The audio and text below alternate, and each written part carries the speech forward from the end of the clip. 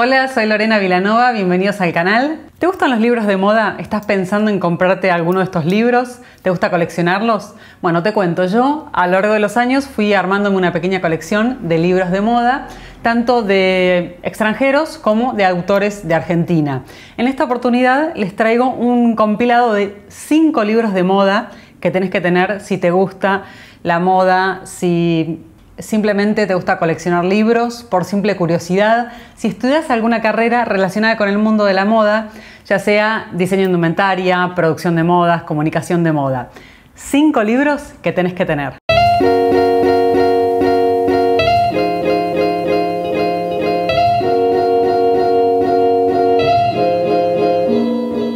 El número uno se llama Moda fue escrito por Charlotte Sealing, es muy conocido, son 150 años de la historia de la moda.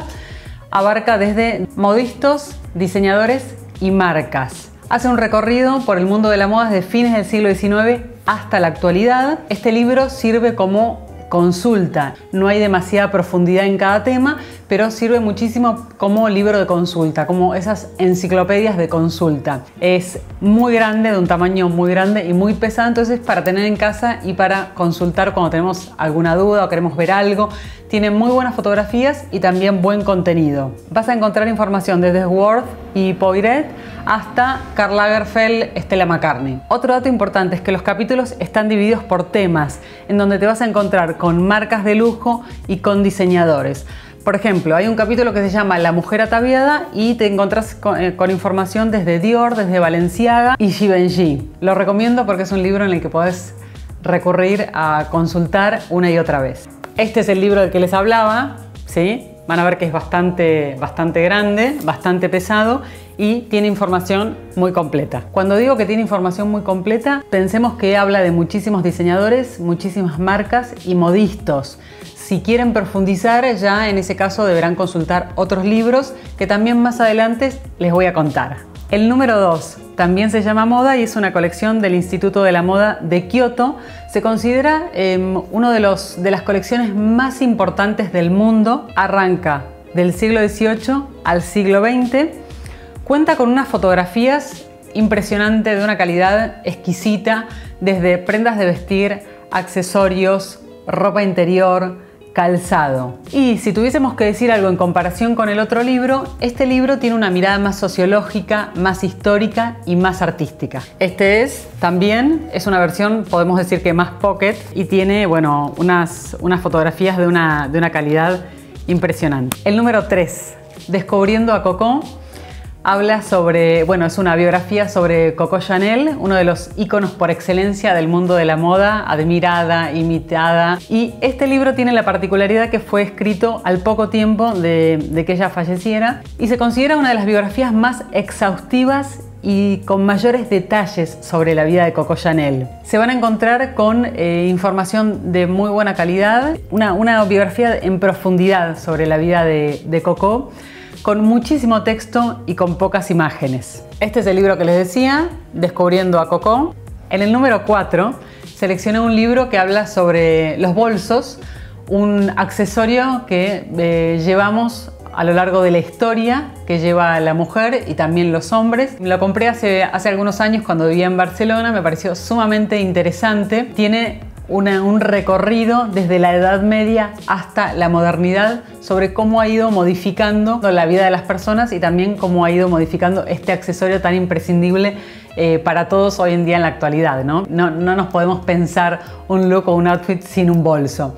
La particularidad de este libro es que está traducido en unos siete idiomas y lo importante es que todas las fotografías que contiene este libro son de un museo que está dedicado exclusivamente a los bolsos y se encuentra en Ámsterdam y ese museo tiene alrededor de unos 2.500 bolsos. Me quedé con las ganas de ir a visitarlo, pero bueno, lo dejaré para otra oportunidad. Bolsos, acá lo tenemos.